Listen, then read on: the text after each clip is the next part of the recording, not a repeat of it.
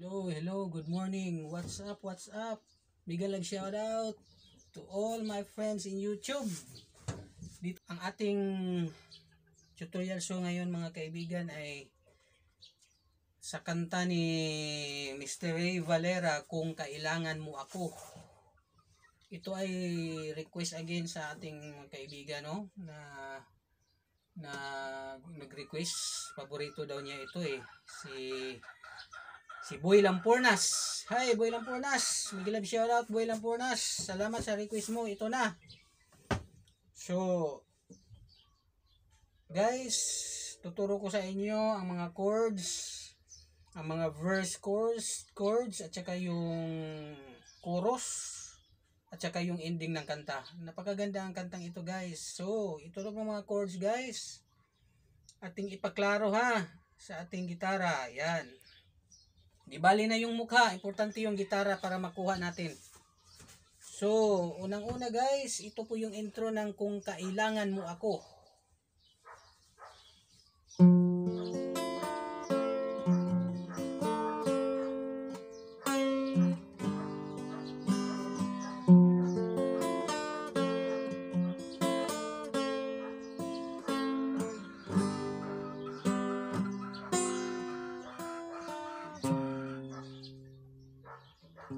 Ito po yon ang intro guys. So, the chords in the intro are if if major 7. Ito yung if, if major 7 guys. Actually, yung F ganyan or ganyan. So, ganyan ang gamitin natin para mas madali. So, if major 7 is ganyan lang. So, instead of ang ano niya, ito lang tatlong chords na ito.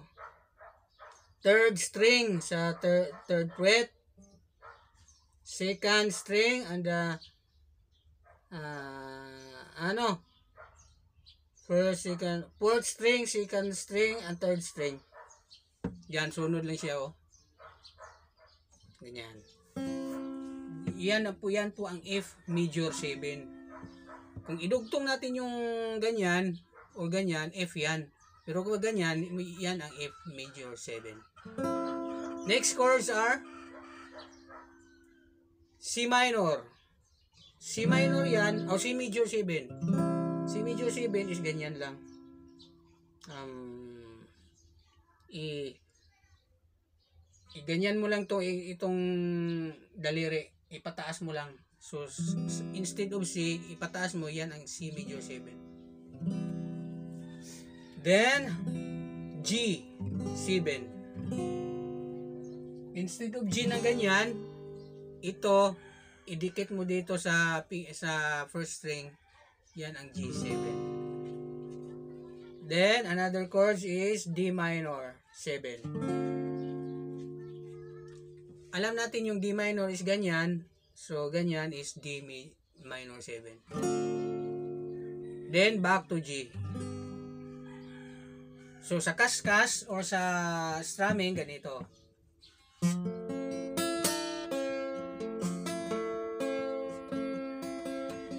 G back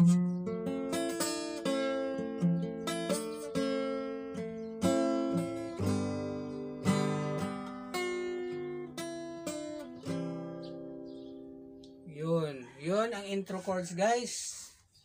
Sana nakuha nyo. So, dito tayo sa first stanza chords or verse chords. Ah, ah, pasok tayo sa C. Pagkatapos ng intro ay pasok tayo sa C. Tapos E minor. Tapos C again. Then another E minor. Then F. Yun po ang F.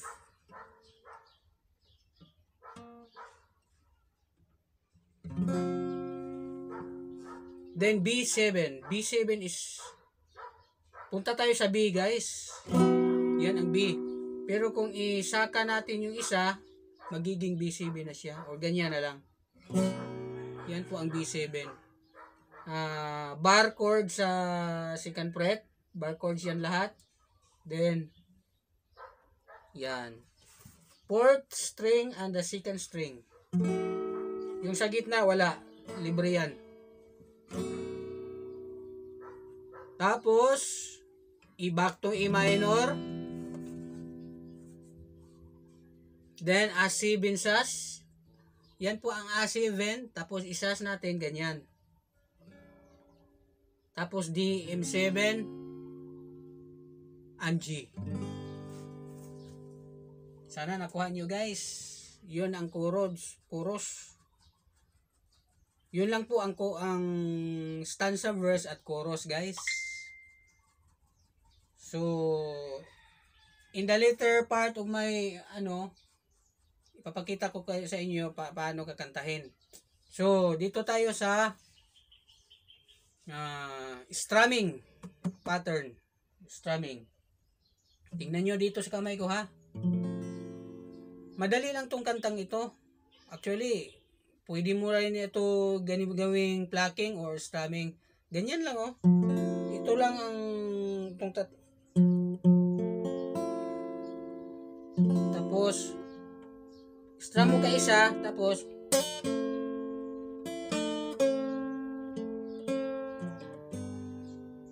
balik FM7 7 yan ha. Hmm, Draw.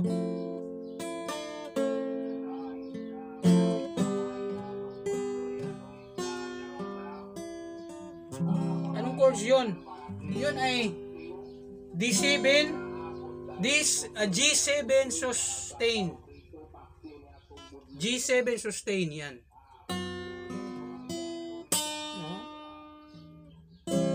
tapos tugpa tayo sa C bagsak sa C adi siya yung kanta. So sana nakuha ninyo guys no? Para ma madali tayong matuto sa ating ano tutorial.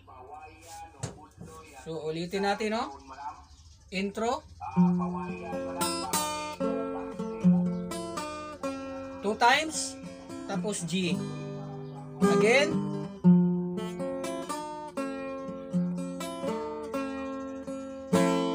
G G7 sos bagsak sa C, kanta agad. Ito, ulit, no? Ulit.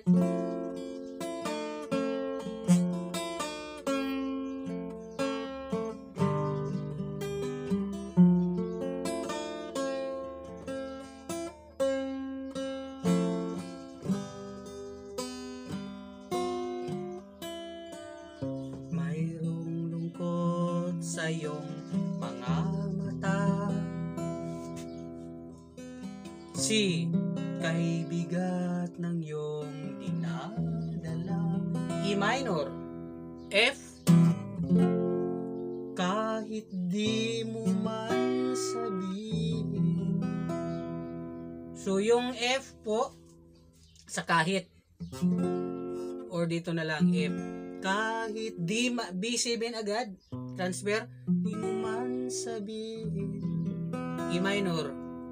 Then pasok sa A7 sauce.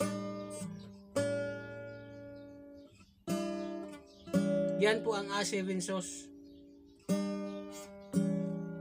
D minor D minor 7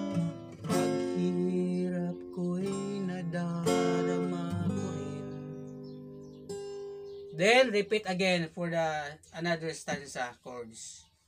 So sa chorus C. Ah, nasana nasana tayo. At kung kailangan mo ako sa oras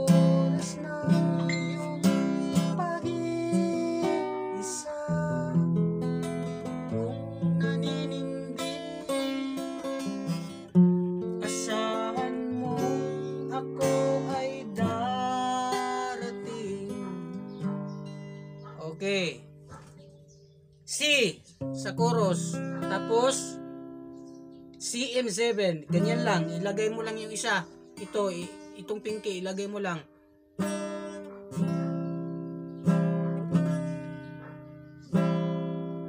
Lang mo ako sa oras ng iyong pag-ibig. B minor. Isa, E minor. E7. Pusong tayo. A minor. F. Kailan may D7 matitiis. D minor. Sandali kailangan.